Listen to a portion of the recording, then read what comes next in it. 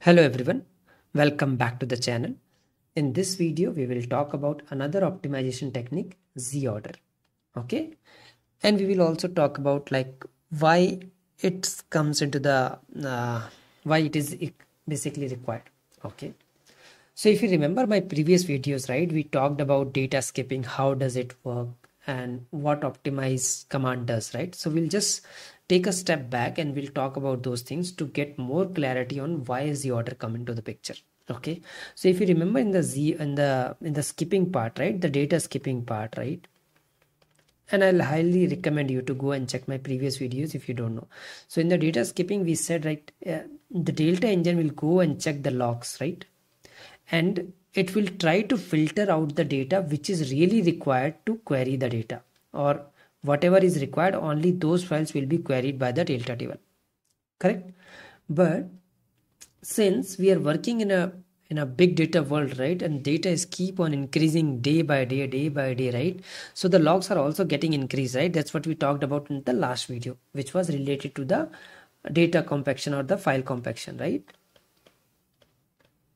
And the solution for this was to uh, compact so many files right in just a single or a bigger file right? Now this bigger file comes into the picture which will have the data from multiple files correct?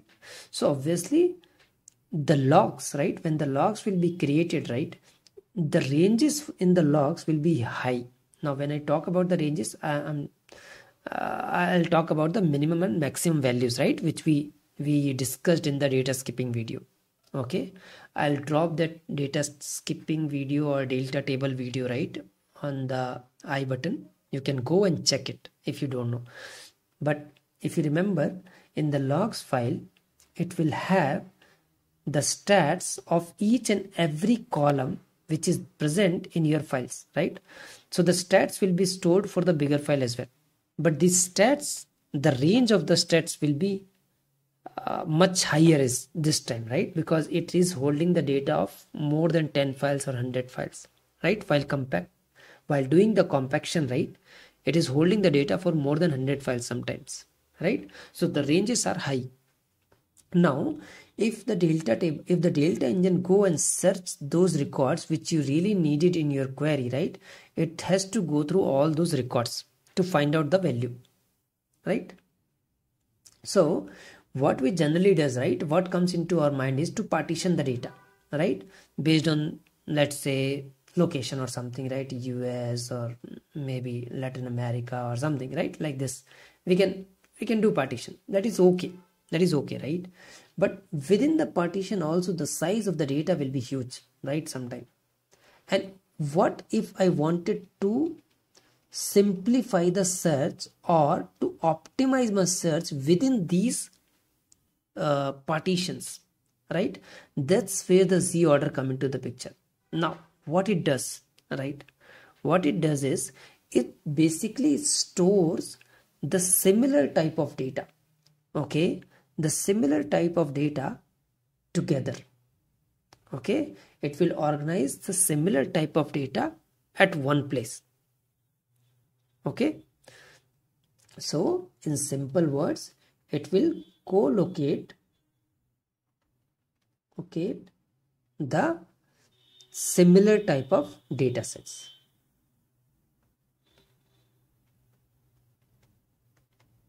Type of data sets. Now how it does what is the syntax we will go through it. Don't worry about it okay? Just try to understand the concept first. Why it used where it used how it comes into the picture why we are using it right? That is very important. Because in the interview they will ask you right why you used it? Why you can't use just partition? What is the difference between them? Right? That's where you will be confused. If you don't know the if you don't know the real concept right why we are using it you'll be confused for sure okay so let's suppose you are partitioning the data based on some um, let's say based on some regions right? Us or maybe eu right? Or something right? You can skip the folders right? In the partition. Let let's suppose you wanted to search the data just for the us but within us also you will have so much of data.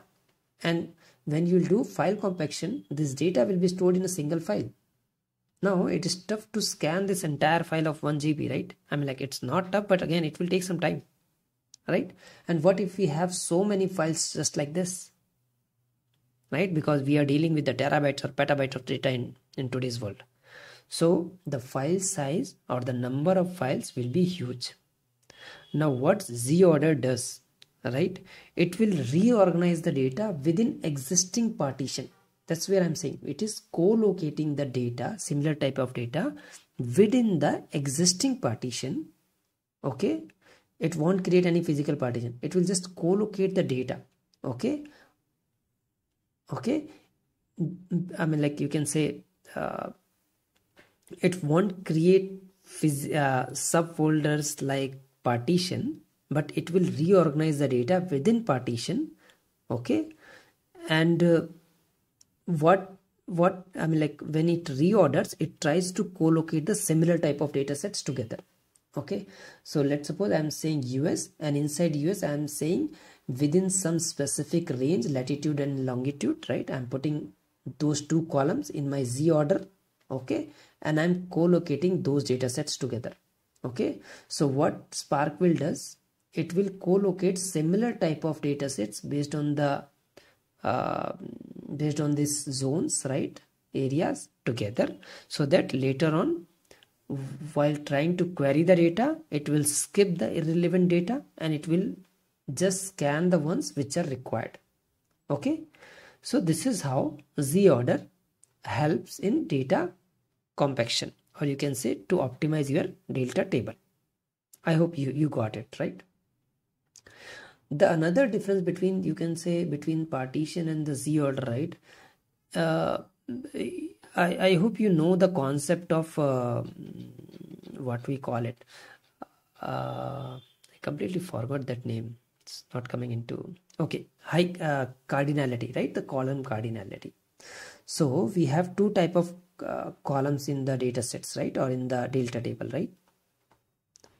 Column cardinality. So a column can be of high cardinality or can be of low cardinality. Okay. So high cardinality means you will have so many unique values right? The column cardinality refers to the number of unique column unique values right? So if the number of uh, unique values in a column is more then we call it high cardinality.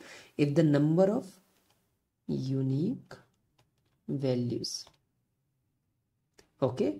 More then we call high cardinality. If the unique values are less unique values are less then we call it low cardinality. So generally partitions works or we do partitions on the low cardinality column. But z ordering can be done on high cardinality of columns okay? So the, the, this is the difference between the z order and the partition. And now you must be uh, must be uh, getting some idea right? Why i have covered the data skipping the delta table file formats the logs the file compaction at the first place. And why i'm talking about z order now. Because now it's making sense right? If i directly go and talk about z order it doesn't make sense. But why z order is coming into the picture? Because of these all reasons okay? So this is the use. Okay? Now how to use it? That is quite simple. Just like partition you have a function called uh, optimize right? Optimize by you can say or sorry z order by and you can use this function and and perform the z ordering basically. So let's let's go to the databricks notebook and see how it we can do it okay so now we are in the notebook page and uh, this is the old code which we have written for optimize command right? And yeah from here we will talk about z ordering. Okay. Now so in the first command if you see i am listing down the files which i have in my uh, dbfs location. Okay. And i have five files. Out of these five files i am reading the reading this file basically the customer dot 1 lakh csv files okay? 1 lakh csv means like it has 1 lakh csv rec uh, records basically. And it's a csv file. So i have the data frame with me right? Now what i will do i will write this data frame into this particular location. Okay? So i'll simply use generate ai again. Write data frame in delta format at at this path.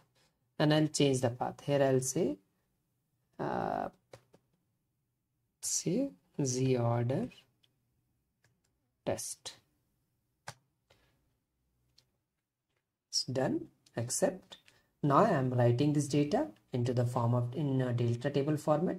Okay and I'm not creating any partitions but let's do create the partitions as well. Uh, okay yeah. Partition by in bracket I will say let me check any column. Country. Okay I'll use the country. So okay. Yeah let's use mode append. That's okay. Let's run it so what it okay invalid character okay. So in this uh, if you see right these columns have some spaces right? So I have to fix it. Uh, I have the function with me. One minute let me run that function. I completely missed that. Okay. And then I'll just run that function to get the data frame. And then I'll run it. It will work this time it will take some time so i'll pause the video for a second. Okay before that i will show you like in this data skipping folder right if i show you catalog dbfs in the data skipping folder right we have partition by country and then z order test just now we created and you see so many folders are getting created these are called partitions right? Because we just partition the data. And inside each partition we have multiple part files. See? 7777 are all right? Now once i have the partitions ready with me right? I have used partitions right? It's a low cardinality column because countries will be limited right? We will not have so many countries. Now what i will do on this table right on this delta table. First of all i'll read this delta table okay? I'll not use ai let's skip it. Let's write it. Yours ourselves delta table for z order okay? Delta table dot for path spark and then this path where we have this file now what we are doing? We are basically creating a delta table object. Done. Something is missing here. Why? Let's try to run it. Okay it's done. And now I have this uh, delta table. Let's check the history of this delta table